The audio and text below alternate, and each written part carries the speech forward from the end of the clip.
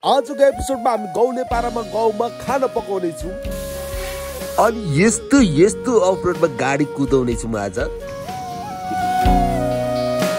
के छ साथीभाइहरू शुभ बिहानी भइसकेको छु। अनि चाहिँ अहिले म आफ्नो गाउँमा छु थनकोटा रजरानी थापरङमा छु अहिले चाहिँ म। अनि यहाँ चाहिँ प्यारो भाइ छ। अनि यहाँ चाहिँ भाइ र मेरो बुढी चाहिँ मस्त के फोनमा खै के हेर्दैछ कि गेम खेल्दैछ?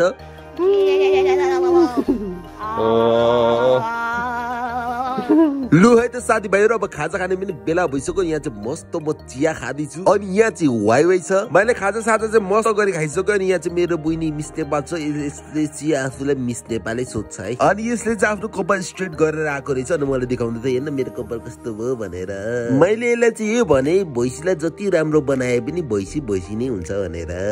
लु है त साथीभाइहरू मलाई चाहिँ एकदम जाडो लागेर अहिले चाहिँ म घाममा मस्त बसिरहेको छु। अहिले घाम मस्त तापिरहेको छु म चाहिँ। हाम्रो गाउँमा चाहिँ लास्टै जाडो छ क्या? खाना साना चाहिँ मैले मस्त खाइसकेँ। अनि आज चाहिँ एउटा सानो प्लान बन्दैछ। पल्लो गाउँमा चाहिँ मेला लागिरहेको रहेछ। सानो मेला लु जाउँ न त भनेर सोच विचार हुँदैछ।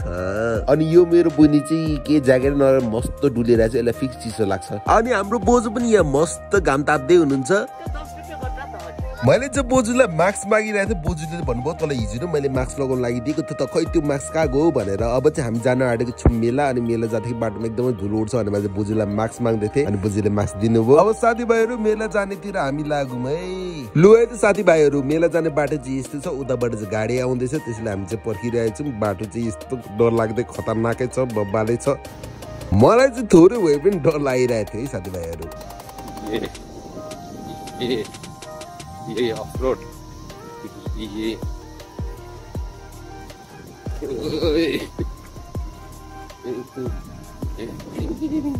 अब के गर्नु? गाउँको बाटो त यस्तै हो। साथीभाइहरू गाउँको मेलामा चाहिँ हामी आइसकेको थियौँ तर मेलाको नामो निशान थिएन मेलै लागेको थिएन किनकि मेला भर्खर भर्खर सुरु भएको रहेछ अनि मेलाको त खै के टुङ्गो नै थिएन। आजबाट मेला चाहिँ भर्खर सुरु सुरु भएको रहेछ त्यसैले यस्तो उयो के रहेन रहेछ भोलिदेखि चाहिँ मजाले लाग्ने कुरा रहेछ आज चाहिँ खासै रहेन रहेछ। अब हामीले सोचौँ त्यहाँ बसेर पनि केही फाइदा छैन अब घरै फर्किनु राम्रो हो लाग्यो अनि हामी घर फर्क्यौँ। यस्तै हो साथीभाइहरू भाग्य नराम्रो भइरहेछ आज चाहिँ भर्खर भर्खर सुरु हुँदै रहेछ मेला त्यसैले राम्रो लाग्दैन रहेछ। भोलिदेखि चाहिँ मजाको मेला लाग्नु सुरु हुँदै रहेछ। के गर्नु अब भाग्य नै यस्तो रहेछ हाम्रो। लु है त साथीभाइहरू हामी पनि घर आइपुगौँ अनि यहाँ चाहिँ हाम्रो काकी हुनुहुन्छ।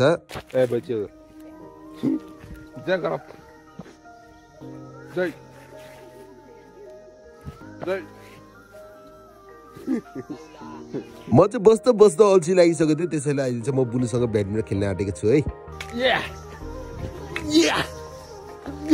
ब्याडमिन्टन बब्बल पारीमा खेलियो अनि पसिना सौरी भयो जिए पुरै तर मजा आयो साथीभाइहरू अनि ब्याडमिन्टन चाहिँ मैले र मेरो बुनले खेलेको अनि मैले चाहिँ जितेँ है। अनि हाम्रो गाउँमा चाहिँ घरिघरि अल्छी लाग्दा यतिकै रमाइलोको लागि तासहरू पनि खेलिन्छ अनि त्यहाँ आन्टीहरू चाहिँ मजाले तास खेल्दैछ है। पाँच पाँच दस रुपियाँको बोर्ड खेल्नु खेल्छ। अनि अहिले चाहिँ म आएको छु चुलोमा।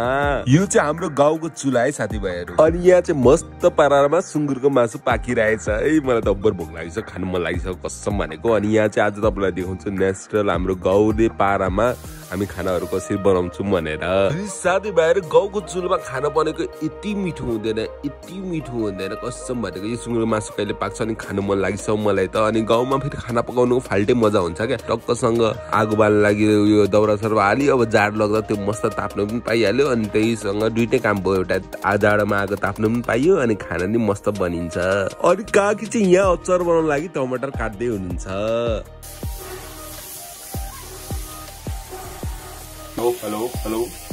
लु है त साथीभाइहरू हाम्रो खाना नि मस्तसँग पाकिसक्यो। अब म चाहिँ पिउनु परिरहेको छु कतिखेर पाक्छ भनेर मलाई लास्टै भोक लागिसक्यो। मा कसम सुँगुरको मासु खानु मन लागिसक्यो। मलाई चाहिँ एकदमै आज के भने यो गाउँको जाडोले लास्टै भोक लाग्दो रहेछ क्या। जति जाडो बढ्यो त्यति भोक लाग्ने क्या। फेरि रातिको बेला हाम्रो गाउँबाट यस्तो यस्तो राम्रो भ्यूहरू देखिन्छ। के भन्नु? आफै हेर्नु तपाईँहरू। आकाशहरू चाहिँ एकदमै खुल्ला देखिन्छ क्या। एकदमै राम्रो देखिन्छ।